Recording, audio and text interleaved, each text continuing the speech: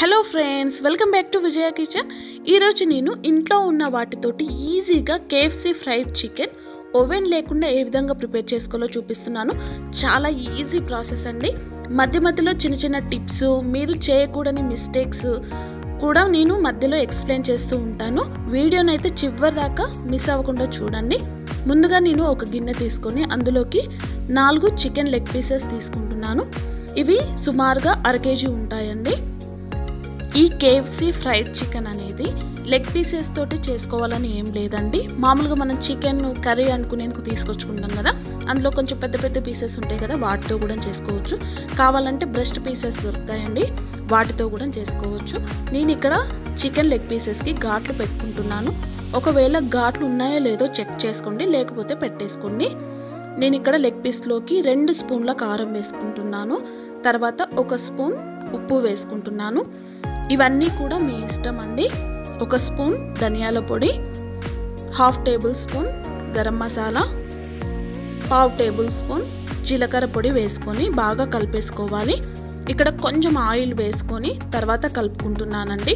Pieces అన్నిటికీ కూడా ఉప్పు కారం పట్టేలాగా కలిపేసుకోవాలి. నా మెజర్మెంట్స్ ప్రకారం ఇవైతే పర్ఫెక్ట్గా సరిపోయిందండి ఉప్పు కారం. అంటే కొంతమంది కారాలు స్పైసీగా ఉంటాయి తక్కువగా ఉంటాయి. దాన్ని బట్టి మీరు వేసుకుని ఎంత తింటారో ఈ విధంగా బాగా కలిపేసుకోవాలి. ఇక్కడ నేను ఐదు స్పూన్ల పెరుగు వేసుకుంటున్నాను. కావాలంటే మీరు మజ్జిగ కూడా వేసుకోవచ్చు. ఇవి కొంచెం పెరుగు కొంచెం ఎక్కువగా తీసుకున్న ప్రాబ్లం ఏం లేదండి. ఎందుకంటే ఆ చికెన్ పీసెస్ అన్నీ కూడా అందులో నానాలి. అప్పుడు నానినప్పుడు ఉప్పు కారం అంతా కూడా మంచిగా పడుతుందండి పీసెస్కి. ఈ మొత్తాన్ని కూడా ఆరు ఏడు గంటలు కానీ ఓవర్ నైట్ కానీ నానబెట్టుకోవాలి. ఈ విధంగా నానబెట్టుకోవడం వల్ల చికెన్ పీసెస్కి మంచి టేస్ట్ అనేది వస్తుంది. కుక్ చేసిన తర్వాత జ్యూసీ జ్యూసీగా ఉంటాయండి. చాలామంది చేసే మిస్టేక్స్ ఏంటంటే వన్ టూ అవర్స్ అట్లా నానబెడతారు. అలా చేయొద్దండి. పెరుగు కానీ మజ్జిగ కానీ ఎక్కువగా వేసుకోవాలి. ఎక్కువసేపు నానబెడితే బాగుంటాయి. వీటిని ఫ్రిడ్జ్లో నుండి తీసి రూమ్ టెంపరేచర్ వచ్చేదాకా పక్కన పెట్టుకున్నాను. ఆలోపు పిండి ప్రిపరేషన్ చూపిస్తాను. నేను ఇక్కడ ఒక కప్పు మైదా తీసుకొని జల్లించుకుంటున్నాను. కావాలంటే మీరు ఎక్కువ పీసెస్ తీసుకుంటే ఎక్కువ క్వాంటిటీ తీసుకోండి. ఇక్కడ నేను తీసుకున్న స్పూన్ చాలా చిన్నదండి. ఒక పావు టేబుల్ స్పూన్ బేకింగ్ పౌడర్ లేకుంటే వంట సోడా కానీ వేసుకోండి.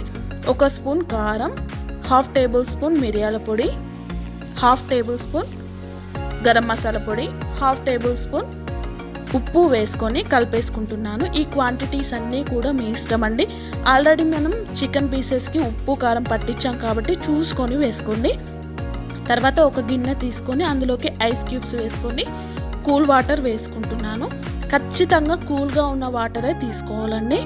చూడండి నేను ఇక్కడ చికెన్ పీసెస్ ఉన్న బౌలు వాటర్ ఉన్నవి తర్వాత పిండి ఉన్న ప్లేట్ ఇంకొకటి ఎక్స్ట్రా ప్లేట్ పక్కన పెట్టుకున్నాను. ముందుగా లెగ్ పీస్ని తీసుకొని పిండిలో దొర్లించాలండి. చూడండి నేను చూపించిన విధంగా దొర్లిస్తూ ఉండాలి. అరచేత్తో కొంచెం కొంచెం ప్రెస్ చేస్తున్నట్టు చేసి బాగా ప్రెస్ అవసరం లేదు. మామూలుగా చూడండి నేను చూపించినట్టుగా ఈ విధంగా చేస్తూ ఉండాలి. చేసిన తర్వాత కూల్ వాటర్ ఉన్నాయి కదండి అందులో వేసుకొని జస్ట్ ఒక వన్ సెకండ్ అలా ఉంచేసి తీసేసేయండి. ఎక్కువ టైం అవసరం లేదు కానీ ఖచ్చితంగా కూల్ వాటరే తీసేసుకోండి. ఈ విధంగా తీసి మరొకసారి డబుల్ కోటింగ్ అనేది చేయబోతున్నాము. పిండిలో పెట్టేసుకొని ఊరికే దొర్లించాలండి. ప్రెస్ చేయొద్దు అస్సలు. ఫస్ట్ టైం ప్రెస్ చేసుకోవాలి సెకండ్ టైం ప్రెస్ చేయకూడదు. ఇక్కడ మీకు ఎంతవరకు పిండి కోటింగ్ కావాలో అంతవరకు పిండి వేసుకొని షేక్ చేయండి. ఈ విధంగా షేక్ చేయడం వల్ల లేయర్స్ అనేది ఫామ్ అవుతుంది. అప్పుడు క్రిస్పీగా బాగుంటుంది. ఇక్కడ గుర్తుంచుకోవాల్సిన విషయం ఏంటంటే మీరు ఎప్పుడు డీప్ ఫ్రై చేస్తారో అప్పుడే ఈ పిండి కోటింగ్ అనేది చేసుకోండి. ముందు చేసి ఉంచితే పిండి అంతా కూడా చికెన్ అబ్జర్వ్ చేసుకుని అప్పుడు క్రిస్పీగా రాదు. ఈ విధంగా చేసుకున్న తర్వాత వెంటనే డీప్ ఫ్రై చేసుకోవాలి. ఆయిల్ హీట్ అయిన తర్వాత వీటిని వేసేసుకోవాలి. తర్వాత మీడియం ఫ్లేమ్లో పెట్టుకొని వీటిని ఫ్రై చేసుకోవాలండి. హై ఫ్లేమ్లో చేసుకుంటే త్వరగా మాడిపోతాయి లోపల కుక్ అవ్వు. ఇదొకటి బాగా గుర్తుంచుకోండి. చూసారు కదండి మన కేఎఫ్సి ఫ్రైడ్ చికెన్ రెడీ అయిపోయింది. బయట క్రిస్పీ క్రిస్పీగా లోపల జ్యూసీ జ్యూసీగా చాలా టేస్టీగా అయితే ఉన్నాయండి ఇవి. మీరు కావాలంటే చిన్న చిన్న పీసెస్తో కూడా సేమ్ ప్రాసెస్ అండి చేసేసుకోవచ్చు. చూసారు కదండి మన కేఎఫ్సి ఫ్రైడ్ చికెన్ మీరు ఖచ్చితంగా ఇంట్లో ట్రై చేయండి. ఎలా వచ్చిందో నాకు కామెంట్ రూపంలో తెలియజేయండి. మన ఛానల్ ఎవరైనా ఫస్ట్ టైం చూస్తున్నట్టయితే లైక్ చేయండి షేర్ చేయండి సబ్స్క్రైబ్ చేయండి. Thank you for watching bye